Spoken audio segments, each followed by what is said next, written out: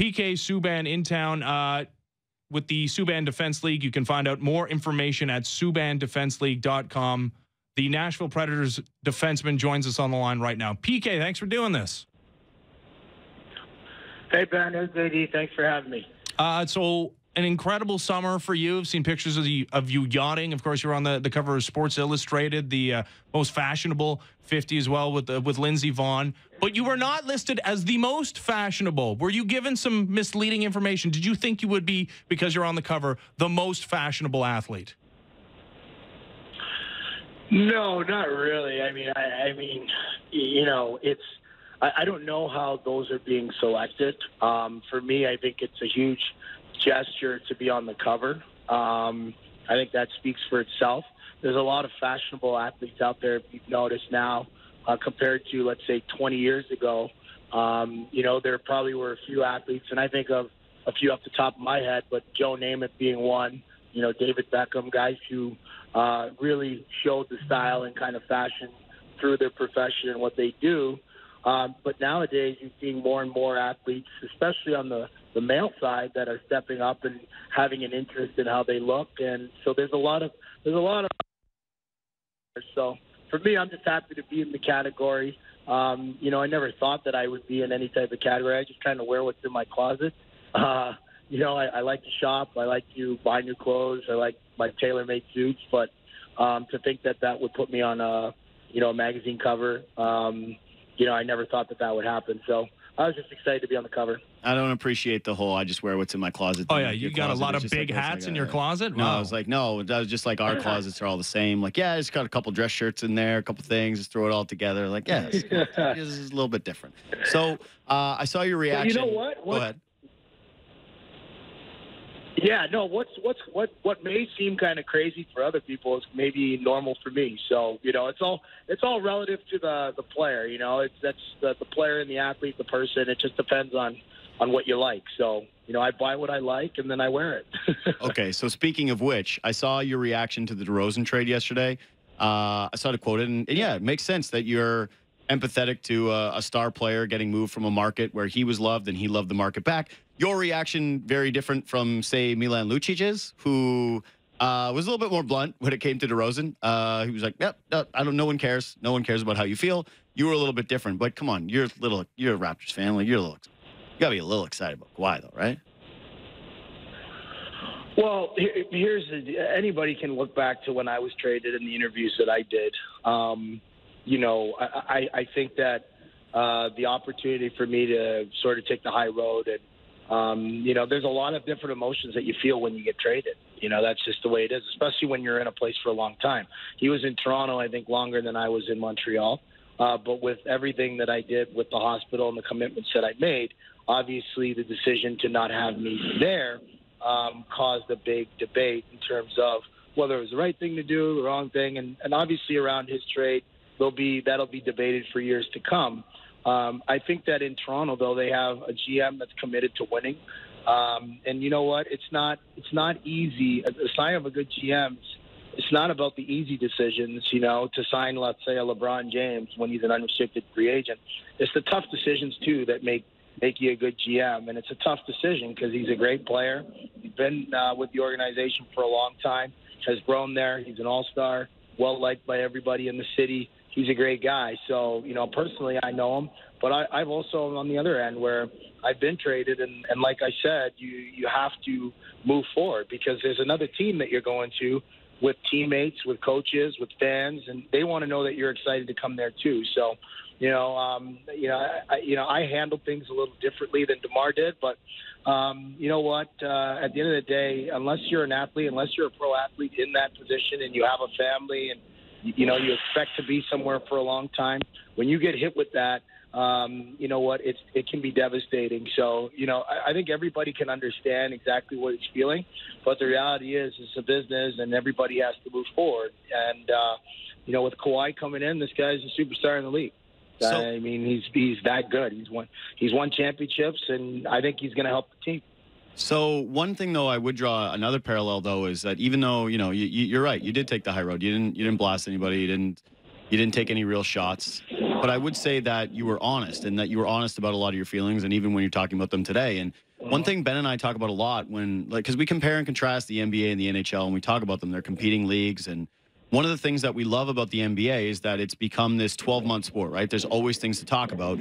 And players are more emboldened to be themselves and express their personalities and express their feelings whenever they want. Like you, you're seeing now a lot of guys, even in the league, starting to open up their own podcasts, right? Like CJ McCollum now has one, and JJ Redick has one, and Danny Green, who's now coming to the Raptors, is starting one up guys are not afraid to be themselves and to to speak their minds and say how they feel. And and one of the things I remember you saying on on a podcast once was that a lot of hockey players maybe don't trust media members or that they don't believe that.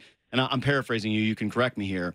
That sometimes that we have a tendency in this group to to twist the narrative or to take things out of context and and put them out on on social media or whatever it is. And I wonder though if you feel like it's getting better for players, like in the NHL, anyways. That more guys are feeling better about expressing themselves. If there's more power in terms of you know having your own social media feeds, or if it's actually getting worse in terms of being able to just express exactly how you feel or speak your mind and have a personality in this league. Well, if we're talking about sports, let's talk about money because that's really what it's about. Uh, you look at the NBA, and the reality is that the top players make more money off the court than they do on the court. So they can be more frank, they can be more straightforward in terms of the decisions they make and what decisions they make off the court, off the field. Um, you know, especially in basketball, um, the players have much more of an influence because they make more money. I mean, like someone like LeBron James signed a half a billion dollar, a billion dollar deal with Nike and he's only getting paid thirty million dollars from his basketball team. So, you know, it, it, it it's hard to control somebody like that because the reality is he doesn't really need the paycheck from his basketball team. Um, he's set for life, you know, and and that's it. That just that's not just in his case. That's in a lot of the players' cases in the NBA. So the influence is different, you know. Whereas in hockey, that's not the case at all. You know, um, the history shows that when the majority of hockey players, you know, make their most money um, playing hockey. You know, their player contract, and that gives the league more control. That gives the league more control over, you know, players and what decisions they make and how they structure things. And that's just the reality of it. That's the nature of the sport. That doesn't make the league bad or good. That doesn't make the players bad or good. That's just the reality of it. It's all based on dollars. And I think that you look at someone like LeBron James, who's opening up a, brand new school now, who's funding a school, who has his own production company, who's got he's got other things going on where he's making a lot of money, but he's also doing a lot of good things too. I mean, he does a lot of things in the community, and I think that a lot of players in the NBA are seeing that, and everybody's trying to do their part for themselves. I think that's what you're seeing. So, you know, in, in regards to hockey, I think it's just it's different. It's different. It's in a different financial space. You know, I mean, you look at what the players are making in the NBA. Look at what the hockey players are making, and there's a big, big difference in money. And I think that's a huge influence on what p- players are comfortable doing and what they're not comfortable doing. Yeah, I wish there were more Twitter wars in the NHL. Would make this job so much easier. Make it it's so great. Uh, that's why we enjoy hearing you, of course. Uh, before we let you go, uh, of course, you go a ways back with, with John Tavares, the the newest member of the Toronto Maple Leafs. Did you did you anticipate this happening? Did you have any insight? Did did he have any conversations with you? Would you have anticipated him choosing the Toronto Maple Leafs? No, you know what? In the past, I've, I've there's players that I know and, and players that I've been close with and grown up with. Um, but when it comes to those decisions, that's a really personal decision. You know, it, it's based on your family, your girlfriend, your wife, you know, yourself, where you want to be, and nobody understands. That's the, that's the cool thing about sports is that there's so many different reasons of why a player can switch landscape. You know, uh, where they play. I mean, it, it's not just always based on just hockey. You know, there's a lot of different factors, and um, that's why everybody needs to respect the player's decision on what what decision he makes when he has the right to test the market. Um, you only probably get that opportunity once in a lifetime, so. Um, you want to make the best of it. And I think being from Toronto, I think the New York Islanders is a great organization. I think uh, with Scott Mal- Malkin and Jon Ledecky, I think they're doing the right things um, in terms of bringing in the likes of Lou Lamoriello and, and, and, and Coach Fox. Uh, you know, they're they're definitely going to have a good team. They have a lot of young players. I think that um, it's going to be a good team moving forward with the new arena coming in in years to come. Uh, but for John, obviously playing in New York for a long time, he made the conscious decision to want to play in his hometown and he has every right to do that. I mean, you know, it's it's Toronto's the mecca of hockey. Um, you know, it's the biggest market for hockey in the world.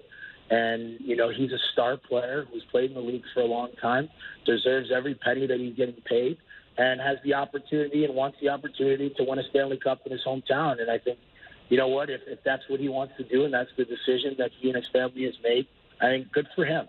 Good for him. I don't think we see that enough in the league where guys take it upon themselves to really try to make their dreams come true, you know, and not just do what everybody says that you should do, whether it's to resign or you know, to, to be conservative. I think that players should be should think big and want to want to uh, make their dreams come true. And it was a dream for John to, to play for the Toronto Maple Leafs and win a Stanley Cup, and he's going to have that opportunity now. You get to decide on who you get to hard match against. The Tavares line, the Matthews line, or the Kadri line? Who do you choose?